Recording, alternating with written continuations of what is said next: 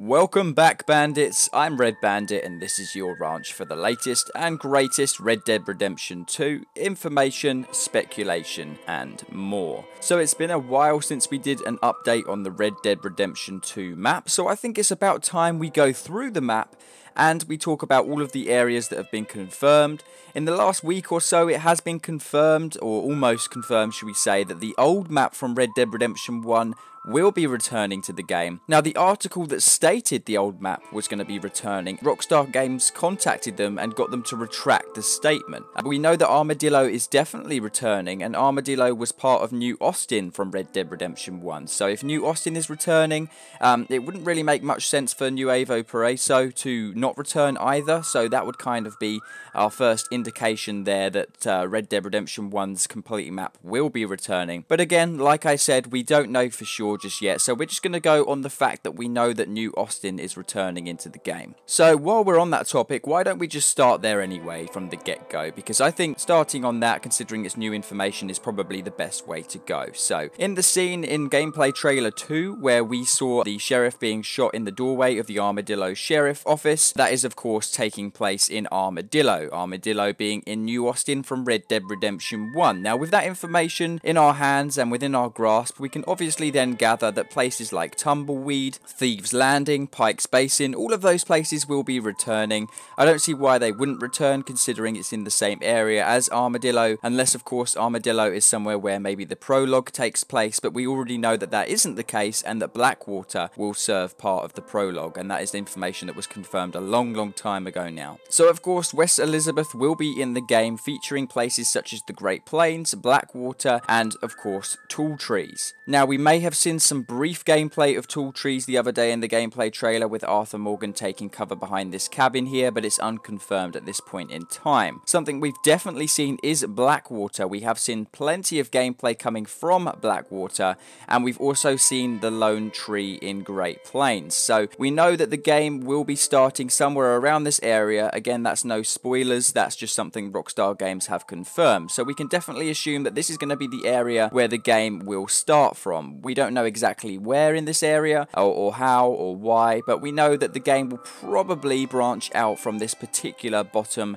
left hand area of the map. So we'll go around in a clockwise fashion right around to again the middle in the heartlands so we can work around this at the right angle. Considering the game does start in Blackwater, again that's not a spoiler, that's something Rockstar Games have confirmed. They actually state in the description of the game that the game starts in Blackwater. We don't know if it's the first mission, so that's obviously where the spoilers don't come in. But we know that somewhere at the start of the game Blackwater's involved and the gang flee to the mountains. Again, that's not a story spoiler, that's what Rockstar Games have confirmed. So we can then imagine that if we look at Blackwater, we'll probably be heading north west up here towards the big valley. So first we have Strawberry. Now Strawberry is a town near the bottom area of the mountains in the game. And this area particular in the game is somewhere we haven't really seen much of. So we're not going to be covering this area too much in detail. The one thing we do know for sure is that Little Creek is the creek that we've seen throughout various gameplay trailers, specifically in gameplay trailer 1. We haven't seen it recently, so we don't know how much that has changed, but we definitely know that that is the confirmed location. As we rotate more clockwise towards the Grizzlies, it says in brackets their intro, which is where I was coming into earlier in my statement a few minutes ago where I said the game probably goes from Blackwater up to the Grizzlies. That would make sense that this is the mountainous area of the game. I think we've seen various screenshots of the Grizzlies now. I'll put some gameplay in the background of some examples where I think the Grizzlies will take place. So, of course, the entire north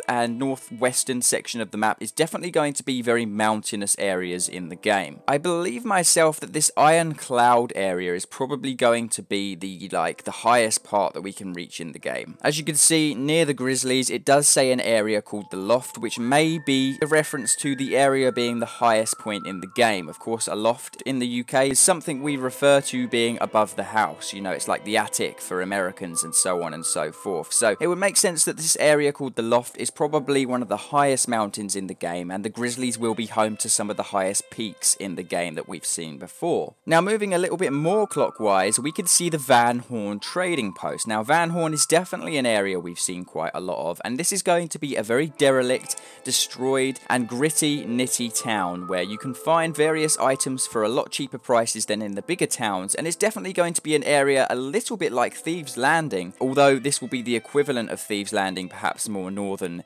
area of the map. When you go slightly south of that, you can see Annesburg. Now, we know Annesburg is home to a mine, and I do believe that this screenshot right here, or this little clip from the trailer, was taken from Annesburg itself. We can see down there into the valley, and we can see that the Annesburg mine is taking place down below. So, we have the Van Horn trading post, and just south of that, we're going to find the Annesburg mines. We don't really know too much about the areas just immediately west of that, because, of course, not a lot of this has been confirmed. Something we do know a little bit more west from here, and a slightly more southern, is the Cumberland Forest. Now, the Cumberland Forest is going to be the big forest in the game, hence the name. Now, I believe this forest has been based off of the California Red Tree Forest, or the Red Forest, whatever you want to call it. Um, it's not definitely a remake of that, it's not directly related to it or uh, influenced by it, but it definitely looks very similar in terms of how the trees are placed, how the woods looks, and the feel that it gives off. And this is going to definitely be an area that's going to be very rural and far away from any civilizations. Valentine is going to be the small town in the game that we've heard a ton about. We know there's gun shops, we know that there's going to be banks in Valentine, we know there's going to be a ton of stuff. There's going to be a church tower that we've seen a lot in the game, and Valentine is sort of an area that Rockstar Games are focusing very heavily upon during the latest gameplay trailers and information. This is basically the hotspot where a lot of the previews for Red Dead Redemption 2 have taken place. Just west of that, in the Dakota River, that's where we're going to find that waterfall that we saw in the gameplay trailer. Particularly if you look at where the uh, the pathway here, just where it says Dakota, just above the letter A in the river, you can see a pathway. Well, that's probably where that waterfall takes place, what we've seen in the gameplay trailers as well. So pretty much confirmed that the Dakota River is going to be very close to Valentine, and that's where that waterfall takes place that we've seen throughout the gameplays. And that's where I reiterate my statement where a ton of gameplay has taken place just in this tiny area of the map. So as we go slightly more south downwards, unfortunately we're going to have to miss a lot of this eastern section of the map because we simply do not know a lot about this area. Sadly, we don't. However, I'll touch on the penitentiary in a short while. But as we go more south, we see the town of Rhodes, the southern town of Rhodes in the Scarlett Meadows area of the game. Now, Rhodes is also an area we've seen quite frequently throughout gameplays and screenshots, and this is going to be a slightly more modernized village or town, but it's definitely not going to be anything considering the size of Blackwater or New Bordeaux, aka Saint Denis or Saint Denis, whatever you want to say. So, Rhodes is probably going to be the very first or closest town, shall I say, to the big city in the game. So, it's definitely going to have more connections than some of the further out rural towns in the game. Definitely, Rhodes is going to be one of the civilization areas that's changing the most drastically during the game. Now, if you look carefully, just northeast of that, we can see Le Gras or Le Gras. Now, Le Gras is going to be a swampy area in the game, and this swampy area is heavily based on New Orleans in real life, because New Bordeaux down here has been now renamed to Saint Denis. Saint Denis or Saint Denis, aka taking its name from French origin, we know that this big area of the map here is based on New Orleans, or at least takes references from that. So that's why the Le Gras area in the game, or Le Gras, is going to be a swampy area, and that has also been confirmed. So then, as we move the farthest southeastern on the map, we have New Bordeaux, and New Bordeaux is going to be home to Saint Denis or Saint Denis, as I mentioned previously. Forget the name New Bordeaux, because that's pretty much been crossed out now. We know that this is definitely the area of Saint Denis that we're looking at right here, and I have a nice remake of the Saint Denis or Saint Denis map right here on screen for you guys, created by a fan over on the GTA forums. So I think Saint Denis is definitely going to be the biggest town in the game, and Rhodes will probably follow shortly after that because it's very in close proximity to it. It's got great connections over the river to Blackwater. This southern area of the map is definitely going to be the more progressive, evolving area of the map. As we go more northern, the areas are going to get more and more rural as we continue until, of course, we hit the mountains and the borders of the map. Now, like I said, we will touch very briefly on this penitentiary here. We don't know a lot about the penitentiary, however we have seen in the gameplay trailer that there were two prisoners fighting in their prison uniform. That was a side activity that Arthur Morgan can participate in, so we don't know a lot about this penitentiary island, whether you can visit it or not. It definitely looks like that river's going to be a big one to cross that we will require a boat in order to reach it, and we know that in Red Dead Redemption 2 you can be wanted dead or alive, so I'm starting to think that if you commit very, very terrible crimes, can you get arrested and taken to this penitentiary island and then we've got to break out of it? That would be really, really awesome, but again,